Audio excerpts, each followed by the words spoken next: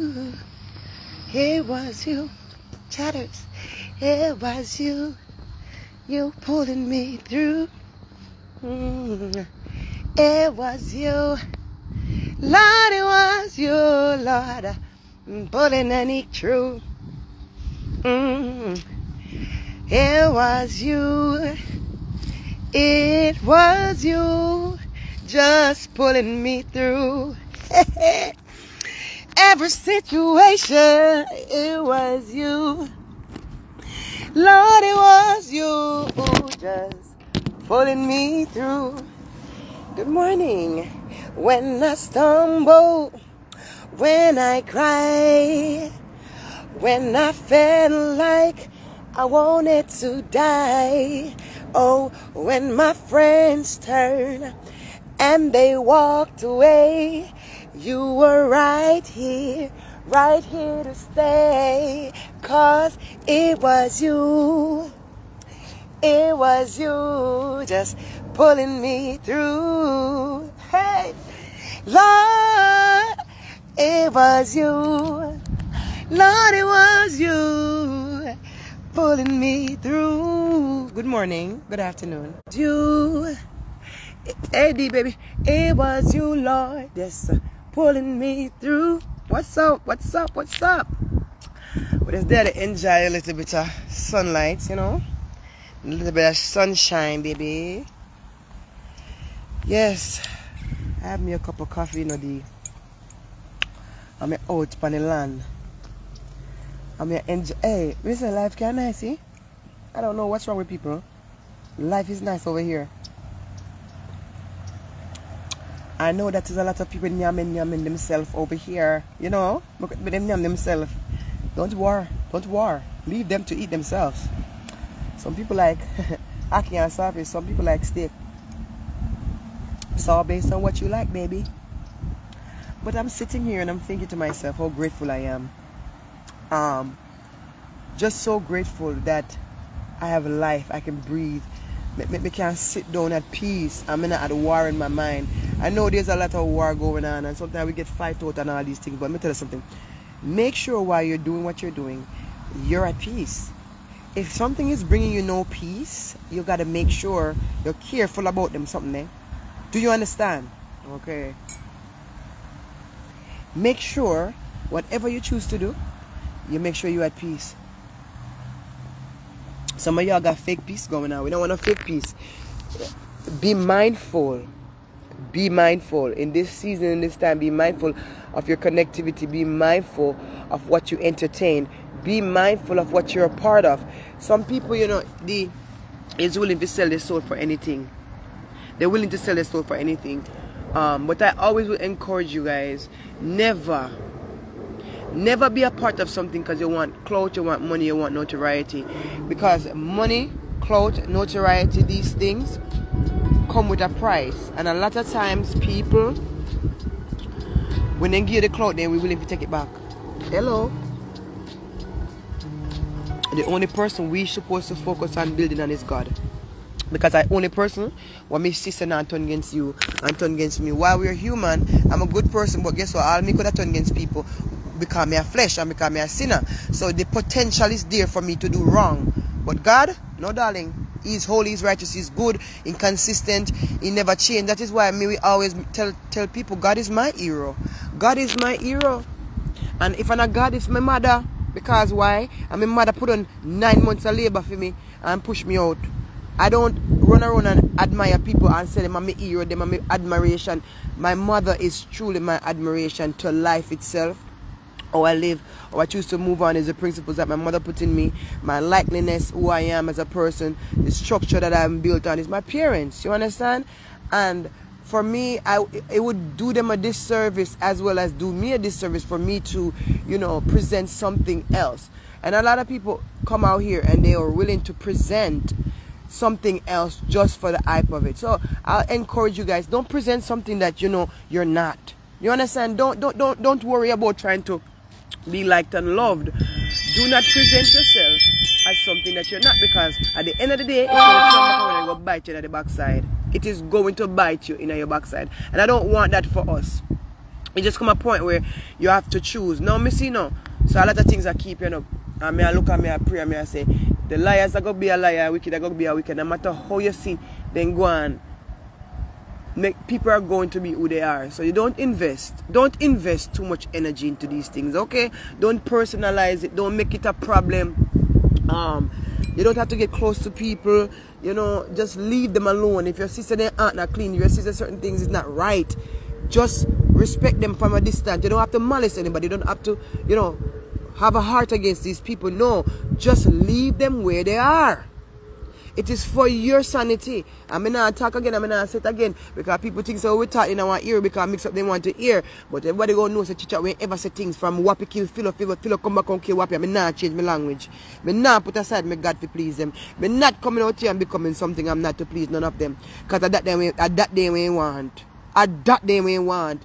People want to join with them to do things. You get beat down all kind of sitting for all kind of sitting. And I'm to tell you something. One thing about me, the reason why people treat me the way they treat me, I because I never conform to them. Me tell them to me a mongoose, you couldn't get me in a few little corner because you come here so you, want to show me little love once in a while and you want to go like a serious chit chat. You don't rate me because I know the truth. You can't style me out here.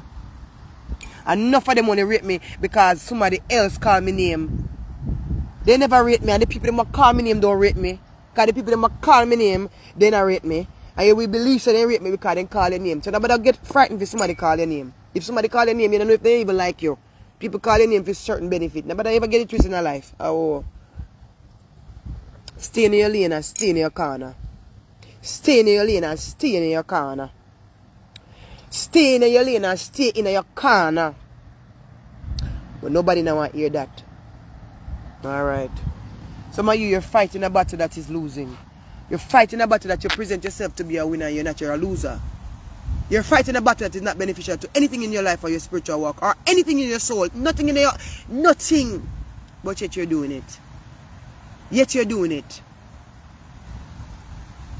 Why are we fighting battles that is not worthy for us to fight? It's not for us to fight. We bring on too much problem for ourselves. We bring on too much issues on ourselves. And, and the biggest battle that you and I will fight is the battle in our mind. That's the biggest battle. Because when time people and you a fight, and you get yard, and you deal with things in your mind, and you can't sleep at night, that's the biggest battle you have fight. So you don't need to make sure, you need to make sure you're not fighting with people. Fight with yourself.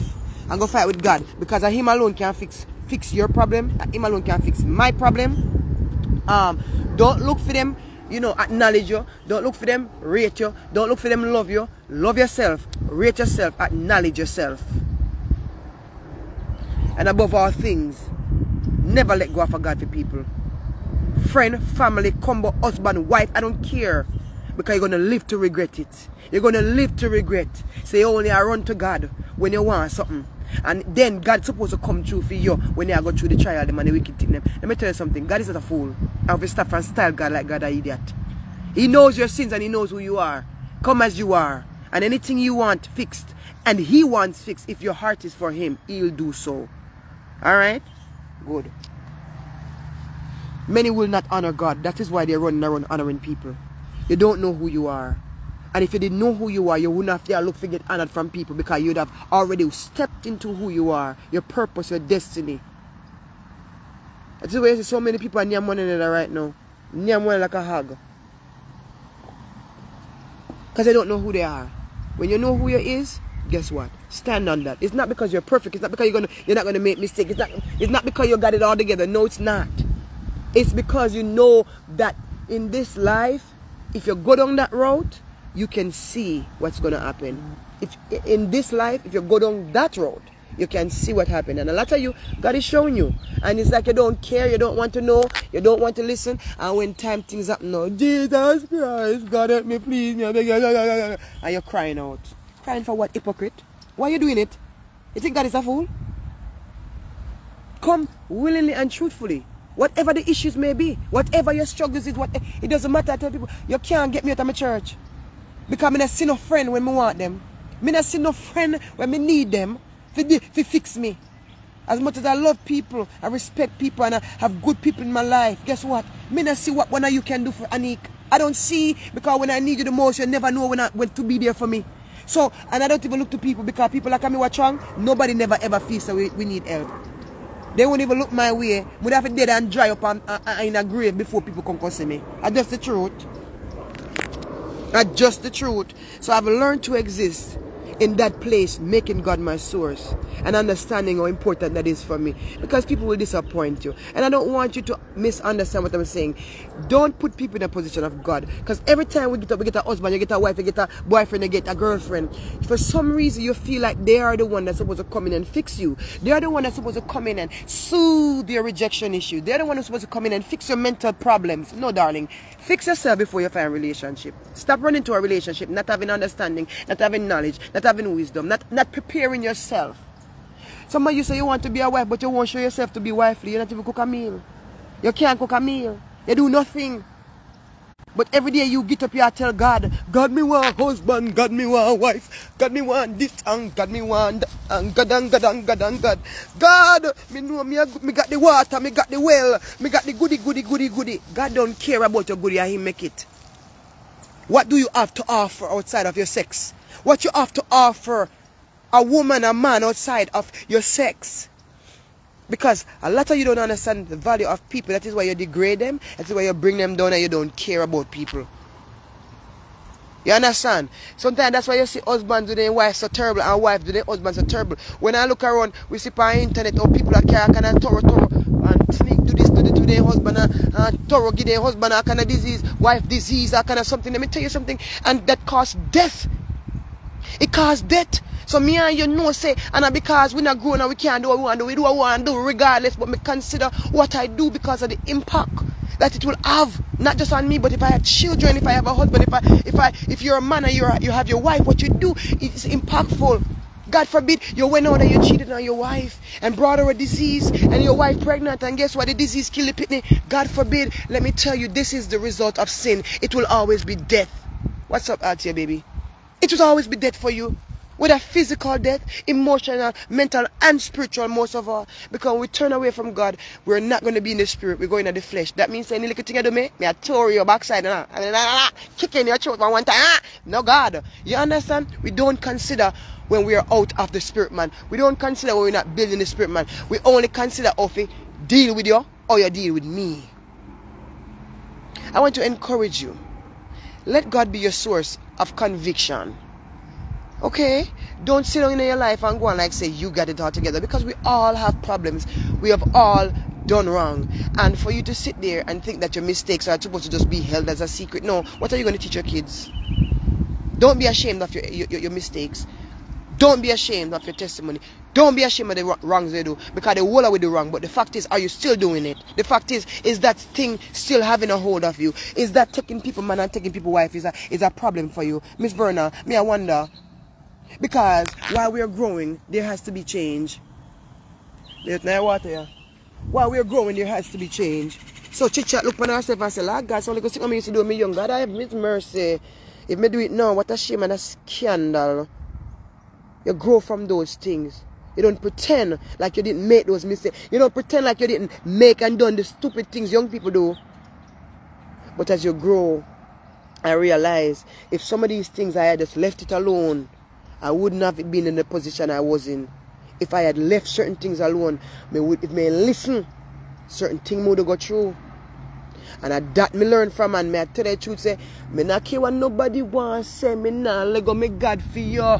Hello, because some know, the man and the woman you have in your yard, you think them loyal and you know they are road, them give the sweet talk, but you said husband, you said wife you think loyal is out there doing things to you and you don't know yet. And the time is coming that if you find out about it, are you able to maintain your peace?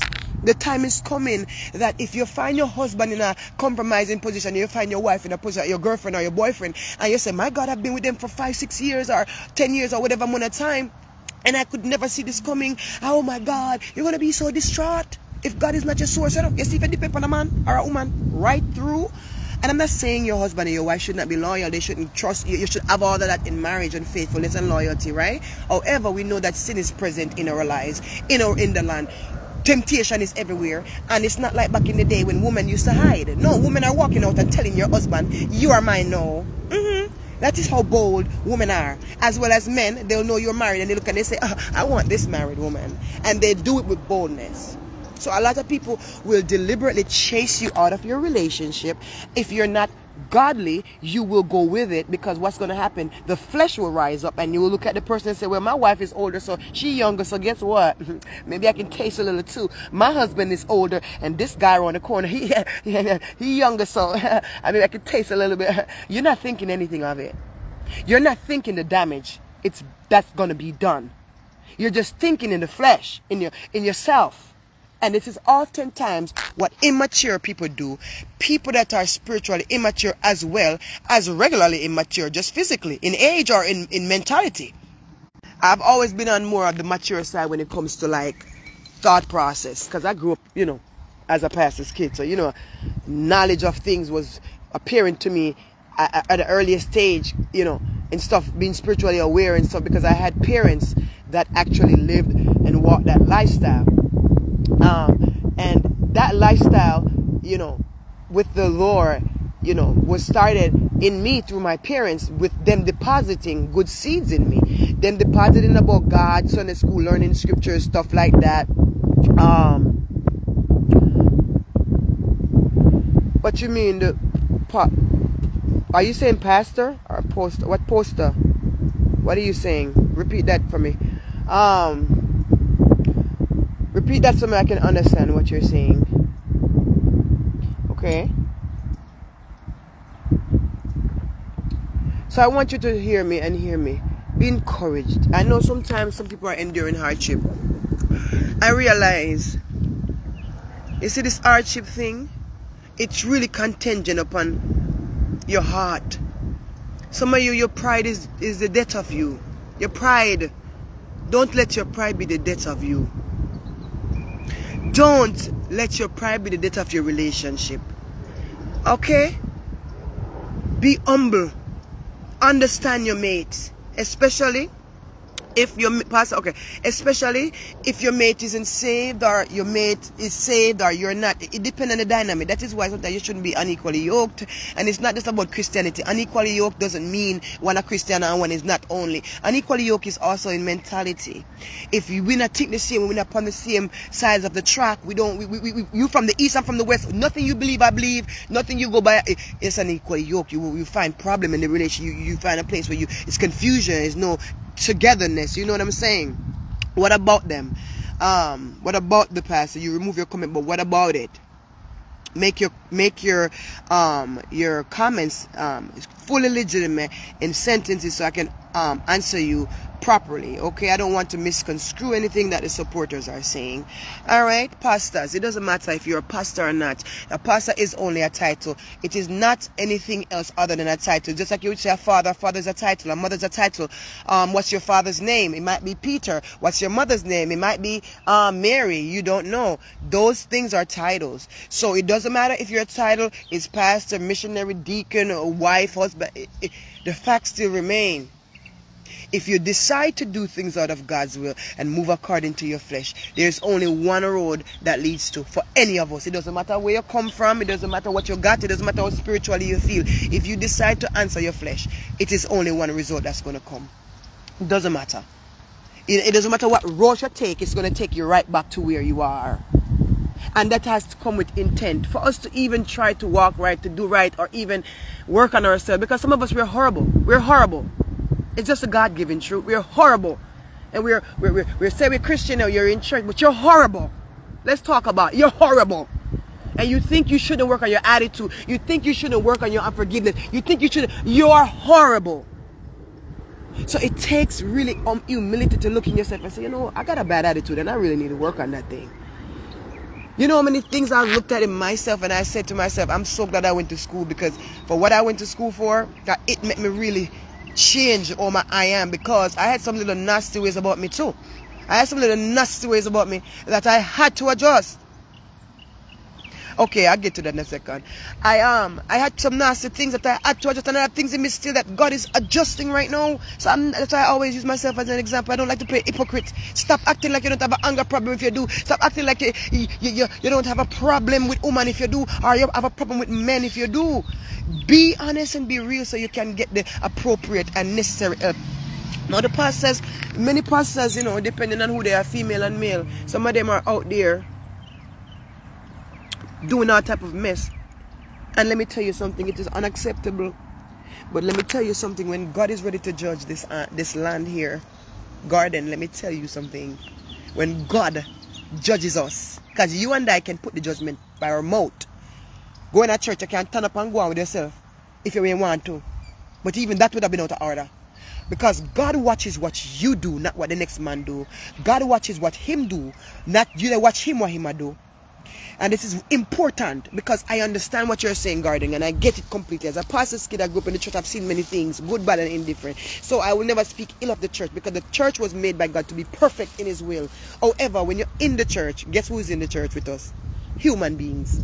Sinners. Sinners. So what is your expectations of people who comes to God that are immature? People who come to God that doesn't know his spirit or has his spirit. You're going to see some sin activities. You're going to see people come up in church and do all type of stuff. And then you have those people who take advantage of the grace of God. They just live how they want to live. Nobody cares. So I'm going to do me. So if me take one, one young girl in the church and you take one two young girls in the church and you know all of a sudden you take ten young girls in the church. Because you got comfortably in your sin. And I promise you, pastors like that they never escape God's wrath. So don't you worry, Garden, about stuff like that. Not, don't let it be your concern. Let it be something that you put before God in prayer. Because the next thing we have to start doing is, as the people of God, we have to have the right mindset. You have to remember where you was. And a lot of you that are delivered now, you used to take people, man, right through. You used to take their husband. You used to sleep with people's husband. Mm -hmm. You used to sleep with people's wives. And now God delivers you and you are a holy person now, which is good. However, remember where you're coming from. Because people like you god still needs to bring out the rest of them that are still stuck under somebody's bed. They're still stuck in somebody's house with somebody's husband and they don't know how to get out because they're dealing with some inner issues that says insecurity that says all i've learned is saw my mama my uncle my aunt everybody taking people's husband and i never felt worthy enough to got my to have my own so you have to look at a broader picture as how a person was raised up, what principles they were taught, and are they godly people? Do you expect godly things from people that are unsaved? No. You're delusional if you think you're supposed to expect those things, right? Open your mind and use things from a mature perspective in our thought process. It has to be different because if you get up every day, you go to church and you're looking at people and saying, well, the pastor taking this one, the, the, the missionary taking this one, what are you doing? Are you praying and fasting for the missionary? Are you praying and fasting for the pastor that you're still sitting in the pew playing hypocrite with? This is what I'm saying. God will judge you too. He will judge me, he will judge you, and he's to judge them. No man to escape. Even the man that is six feet under, that's buried, he will be judged too. So don't take God's job in your hand or in your mind because you go crazy put your problems on his shoulder. He is a burden bearer. And if you dare pick it up, I promise you, that burden will kill you emotionally, mentally, and spiritually. And some of you physically because the hypertension come after the stress, the heart attack and the stroke come after the stress, and every other thing there is that is um, equated to stress in your body. We got immune issues that are what? Created by stress. So first of all, the devil wants to kill you and die physically. So if you stress us out with everything that we are so concerned about, that we're not giving to God, we're not trusting God, and we're just taking it up like King Kong, I'm going to handle my own life. I don't need God. I don't need God. Who is God? God can't understand God. And you get this cockiness. Like you're the one who wakes yourself up every day like you have the ability to breathe breath into your own body. Even when you have cursed the king, he has seen fit because he knows you're a fool without knowledge. Look how God good to us. He knows you and I are stupid now. Sometimes we're immature now. And God is like, you're a fool, you're a child. It's like you look at your little child and they, they go drink dirty water. And you say, oh my God, why you drink the dirty water? That's a child, they don't understand. So that is how God is with us. He see us doing some stupid thing. You're sleeping with people's husband and you think God don't see you. You're taking over there, beating on your girl, beating on your husband, doing whatever you're doing, and you think God don't see you. And when he puts his wrath on us, then we will never be able to escape it. Never be able to escape it. All right? Be encouraged to be a decent human being, first and foremost. But for you to even walk righteously in any way, you need God. you and I are sinners by nature. That means we're gonna we're gonna handle situations in an emotional manner. We're going to handle what we're doing emotionally and naturally.